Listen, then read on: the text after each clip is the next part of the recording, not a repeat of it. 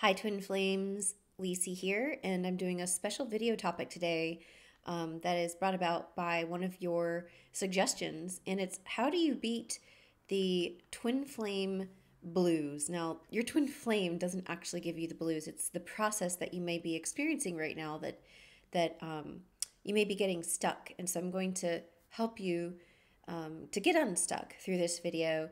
Um, and I also um, wanted to thank you for providing video topics. If you'd like me to do a video on any topic on the Twin Flame journey, please comment below, or you can join my private Facebook group, um, Twin Flames Heart's Desire Facebook group. I've got a link in the description box below for that too. So, um, what do I mean by the twin flame blues, or what you may be experiencing? It's it's not actually related to what your twin flame is doing, even though it seems like it might be there's a lot of energy that the collective is moving through right now and has been for a while. So, first of all, you've got the pandemic that has relegated a lot of us to the home. And so, perhaps if you're if you celebrate the holidays, um, Christmas, Hanukkah, even Kwanzaa, or any any holiday that occurs around the winter solstice, um, you might be doing something different this year than you normally do. And while it may feel like a break to some of you, maybe you don't have to drive 10 hours to go to grandma's house or for, you know, whatever it is, um, there's still a feeling of, hey, you know, I'm not around my loved ones this time of year. And, or the people that you'd like to be around. And that could include your twin flame too. That could be bringing up these feelings of, hey, you know, I'd really like to celebrate Christmas with my twin flame and they're not here with me, right? So, these sorts of thoughts are starting to creep in. Also, we had a lunar eclipse and a solar eclipse recently, and we're about to head into a planetary conjunction along with the winter solstice. So there's there's a lot of things happening in the um, astrological world that they're not causing you to feel this way. It's just astrological weather. So do know that you're moving through things. So, for example, the the weather, weather, right? We have some snowstorms coming in um, in the eastern part of the U.S. And some of you are already getting a lot of snow, right? Um, the weather doesn't have to dictate how you feel. The, the physical weather, right? The rainy days, snowy weather doesn't have to dictate how you feel. Of course, you've got hormones happening as a cause of like, you know, getting sunlight versus not, vitamin D absorption and all of that. But it still doesn't have to dictate how you feel. And that's the premise of my video. I want to provide first, before we get started on how to heal, um, a disclaimer of what I mean by the blues or um, some depression, some feelings of depression that could come up. I'm not talking about clinical depression. Um, I'm just talking about having the blues, right? So if if you feel like you're clinically depressed, if you um, feel like you can't get out of bed and and really maybe your eating habits are drastically different um, and you're having thoughts of suicide, for example, please get professional help. If you're having thoughts of suicide, call the suicide prevention hotline.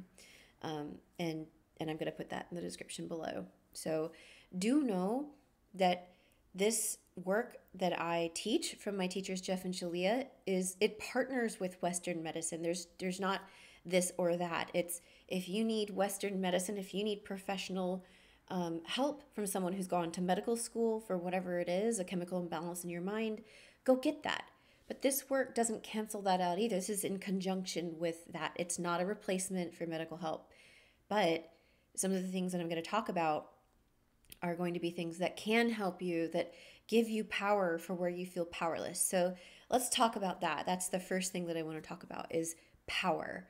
So, a lot of us on the twin flame journey have learned that our twin flame is our divine counterpart, our ultimate lover, our perfect mirror, and you are one with your twin flame at the core. There is no separation at the core.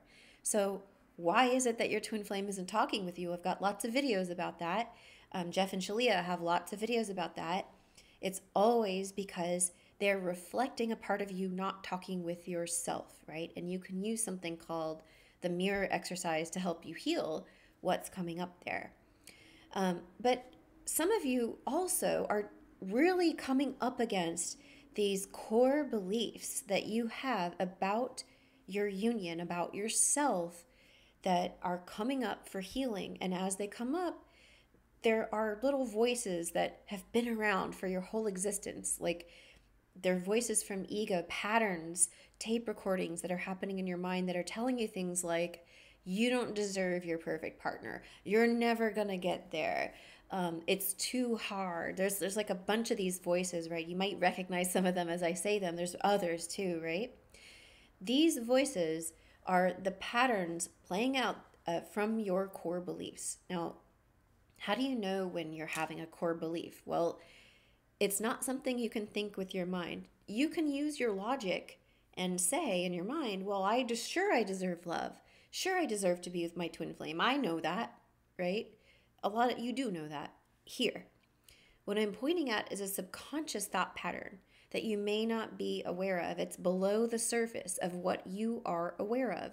Consciousness is what you are aware of.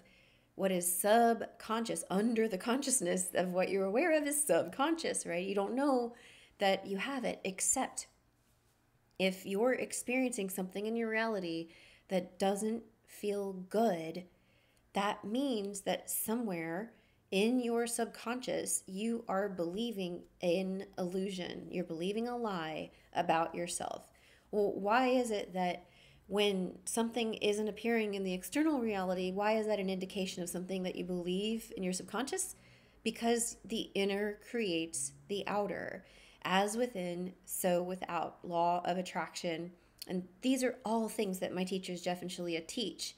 And if you want to learn how to heal your subconscious and restore your consciousness and bring it into unity with the divine mind, the mind that you are one with, check out Twin Flame Ascension School. I've got a link to that in the description box. I've got a whole box of goodies below this video. So check that out. And you can watch the first five classes of Twin Flame Ascension School for free. They're 90 minute classes by master teachers Jeff and Shaleia, who are twin flames who um, are in harmonious union, living their lives as one in their divine life purpose together. And you can attain that too by following their work. And that's what I do, and that's what I teach, and that's I use their work in my coaching. And they trained me um, with a program called the Certified Ascension Coaches Program. Um, or the Ascension Coach Training Program, rather. Anyway, that's off on a tangent. Let's go back to the topic. So, um, you may be experiencing kind of, you know, your, your twin flame there's a few different scenarios that are happening right now in the collective. Like your twin flame may be ghosting you. That's one scenario. Another scenario is you have conversations with them, but it's kind of hot and cold off and on. That's another scenario. A third scenario may be that you don't know who your twin flame is. You've you thought it was somebody and it's not them, or maybe you've never even called them in before. And all three of these situations, um, and there's there's more right? There's very offshoots of those like maybe you're in your union and you're not getting along right? Maybe you're confused. Maybe you think you're with a false twin flame. You don't know. Regardless of where you're at right now in your journey you may be experiencing feelings of isolation of loneliness right? And i want to introduce to you um, a concept called co-regulation. This is a psychological concept co-regulation. Co-regulation is when you may be feeling down and you you may need support and isolation is not the answer. Co-regulation means joining a group and having the consciousness of that group help to magnetize your own consciousness. And that's why i really recommend joining twin flame ascension school. You can look up the term co-regulation. You probably already did while you were watching this video. Um, so go check that out so, being a member of a group of like minded people who know what twin flames are, who understand what you're going through, who all, oh my gosh, we're, we all have signs and synchronicities. You try telling this stuff to some of your friends, like it's hard for them to believe unless they've started to experience what you're experiencing too. So, go check out the twinflamesuniverse.com open forum free. Um, and you can you can come and get support there and start to learn about the school and start to learn about um, you know how to heal your union. So co-regulation go out and get support. Do not isolate. This is one really key concept on the twin flame journey. Don't isolate yourself and think that you're the only one experiencing this stuff. You're not. You're not the only one whose true twin flame has ghosted you. You're not the only one who's finding it difficult to get along in your union you're you're not alone okay so that's the first thing i want you to know if you're feeling the blues The second thing is everything that is coming into your reality. Let's say that you've just run this pattern forever. Maybe maybe what your twin flame is showing you, you've experienced in your past. Maybe you've had um, past partners that treat you the way that your twin flame is appearing to treat you on the outside. Well, they're all showing you something, and your twin flames come to show you once and for all so that you can heal it. But as you approach this block, as you get closer to the awareness that you're in a pattern, you may feel some depressed feelings or suggestions come into your mind, such as those that I mentioned earlier. This is never going to change. Um, I'm not going to ever be able to heal this. I don't deserve love. I'm not lovable. All these thoughts, these things that we tell ourselves, either consciously or subconsciously, are not true. And so, how do you restore your consciousness? Well, some people think just saying an affirmation over and over is going to work. If you're just saying it and if you're not really believing it in your heart, like if you're just giving lip service to the affirmation, I am lovable, but you don't actually feel it, it's not going to work. So, how do you get that feeling? Well, the mirror exercise. Here's a book. You can learn all about the mirror exercise. This is my best friend in my videos where you can get this book. It's on Amazon. I have a link in the description box. Get this book. Chapter five is all about the mirror exercise, and um, it's perfectly written. Jeff and Shaleia are also superb writers. I, I couldn't explain the mirror exercise as well as they do, but I do talk about it a lot in my videos. The mirror exercise helps you to take what you're experiencing on the outside and how, how it feels yucky and then bring it into yourself. So, how do you do that? So, I'll give you an example. So, some of you are experiencing, let's do a really common one is your twin flame isn't talking to you, right? And you you keep trying to send them texts, or maybe you've pulled away and I'm going to give them some space and I'm just going to focus on me so that they miss me, right? Like, that's not how to do it. You state your upset. Step number one I'm upset at my twin flame because they're not connecting with me. Because your twin flame is you, we're going to do step two. I'm upset at myself for not connecting with myself. It's what they're reflecting back to you, is what step two is. Step three is you ask yourself, is this true? Is the sentence that I wrote in step two true? The answer is always yes. And so you might look for places where you're not connecting with yourself. So here's a few a few options. One, maybe you don't um, maybe you don't connect with your deeper feelings. Like maybe you're feeling really upset that they ghosted you or aren't talking with you, and you're like, well. I'm not going to feel that. That would feel bad. You know, that's that's not being there for yourself. You actually need to feel this feeling all the way through and be present with yourself there. It doesn't stick around forever. This is how you dissolve it. Or you could not be present with your creativity or your sexuality or your beauty or your finances or your career or your joy, right? There's so many different aspects of you as a divine being that may not be connected with, that you're not choosing to connect with, and instead you're choosing to connect with the upset or the depression or woe is me. You're choosing to give that energy. That is not loving towards yourself. So, how do you heal that? Step four Step four is the part where you give yourself all the love you need. You use your imagination to create powerful visualization experiences for yourself. It's basically like creating um, your own dream state to give yourself the experience of being loved, right? Over and over, repeatedly, in this place where you're hurt until it feels better. And it may take a few times of you doing the mirror exercise for you to start to really rev up and feel a lot better. But don't stop just because after one or two mirror exercises you're still feeling crummy. Keep doing it. Be gentle with yourself. If you're feeling crummy, do something for yourself to kind of be gentle with yourself. Take a bath, um, watch a movie, play a video game while you're upheaving after you've done the mirror exercise, right? You don't need to keep drilling in. Let some things process through. Let some of these emotions process through.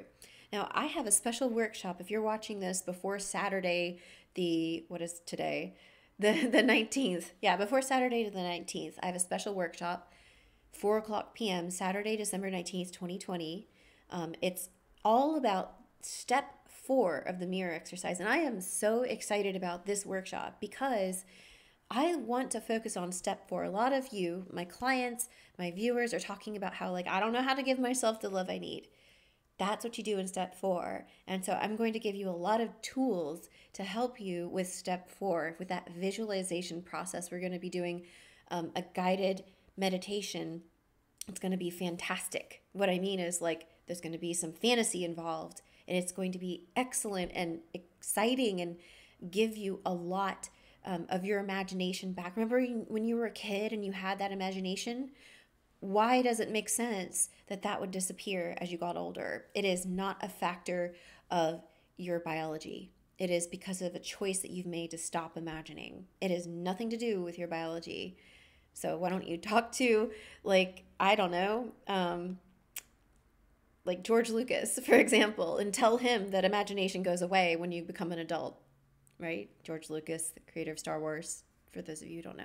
Anyway, so things like that. Just we're going to have a lot of fun on Saturday, and I really encourage you to register. It's only $44, 90 minutes, um, small group. There's a limited space. I like to keep my workshop small group so that I can work one on one with individuals in the group, and you get a lot of attention. You can have your questions answered.